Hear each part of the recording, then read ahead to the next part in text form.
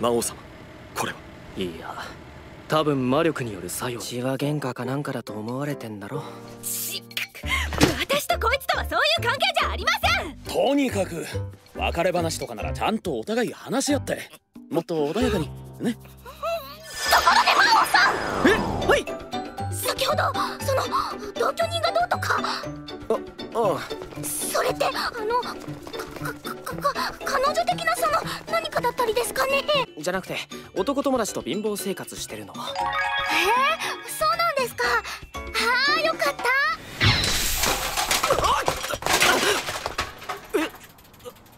情けない。あいつ本当に魔王なの？買ってしまってちょちょ大きいわね。何がだなんでもないわよ。大きかったって戦いで役立つことなんかないし小さい方が鎧の板金とかも安く作れるし動くの邪魔じゃないし。何の話だ？なんでもないわよ。魔王様それを見てはいけません。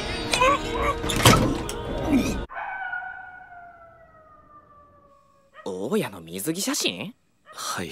ハワイに滞在中とのことで。ああ魔王さん。それ理科室に落ちてたんですけど。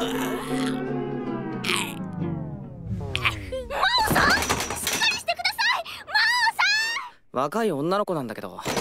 女のいきなり大きな声出すなよ子女の子ってその人にお弁当箱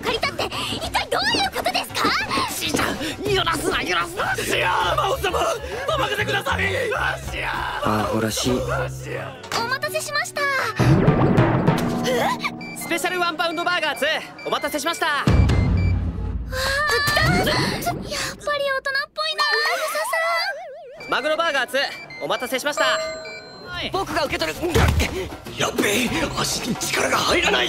はいはい。ちょっとお待ちを。だから僕が出なければ。漆原半蔵様にお届け物です。お漆原？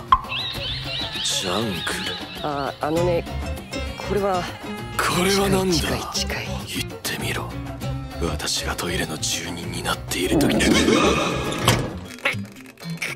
さすがにそれは無理だろ気をつけなさいよ。不器用なんだから。あ悪い。ちょ何やってんのよ。とりあえずこれで拭いて。ちょっと待って。ええばばばバオ